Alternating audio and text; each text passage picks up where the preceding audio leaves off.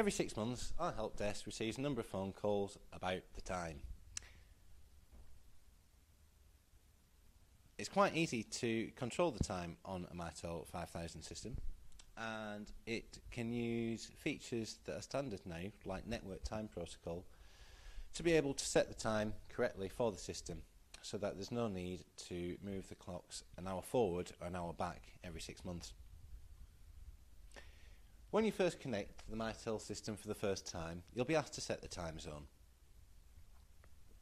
This is done by selecting the time zone on the first screen that you are presented when you connect.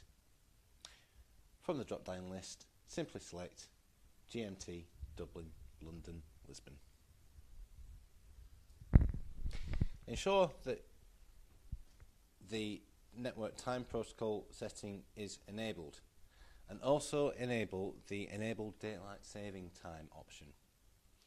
This is the option that will control if your phone system is automatically moved backwards or forwards an hour at the appropriate time of year.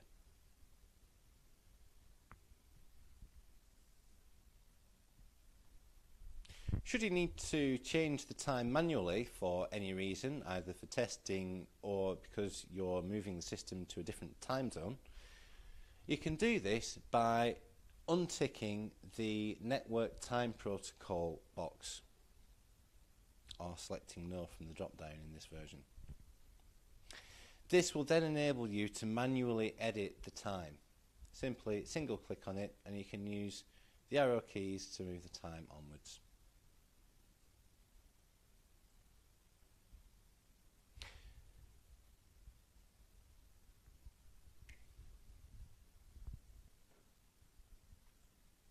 I hope you've enjoyed this brief introduction to time management on the Mitel 5000 phone system. However, if you require any more information or would like a free demonstration, then please do not hesitate to contact us.